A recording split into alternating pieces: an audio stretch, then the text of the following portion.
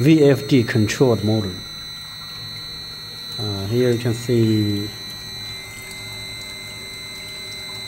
So uh, there were requests that uh, if this uh, extruder suitable for the uh, plate, I mean, like uh, 1.5 millimeter wide and but 38 millimeter sorry 1.5 millimeter uh, width uh, but uh, 38 millimeter wide so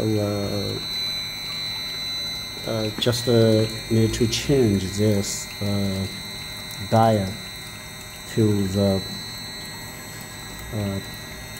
plate dial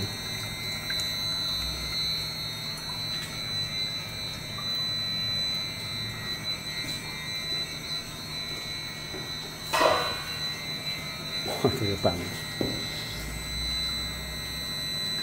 So here is a candle plate.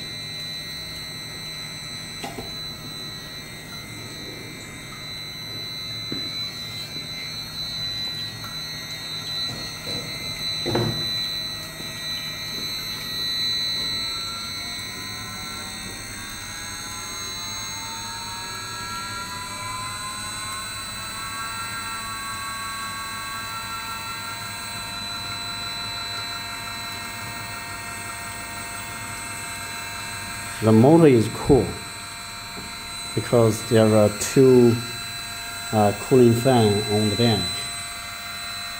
Yeah, so the, the gear is also cool. You can find here a cool, very cool. The temperature could be like uh, I can't feel the temperature here, just like here. Uh, but this this area is quite hot uh, now. 200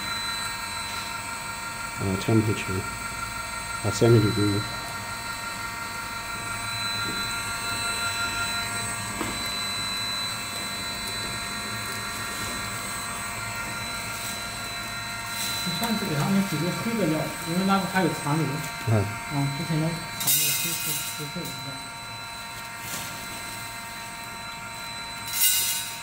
Uh, this higher temperature version, uh, I mean, uh, which can reach uh, 600 uh, centigrade uh, use the popular for PEEK PK PEEK and also just as mentioned that the PEI extrusion. All the components need to stand for bear for uh, that higher temperature.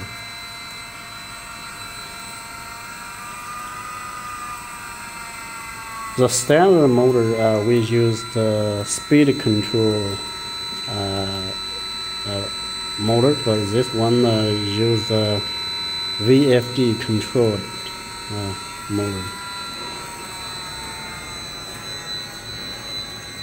Another change is that we are going to use a step motor here for the tractor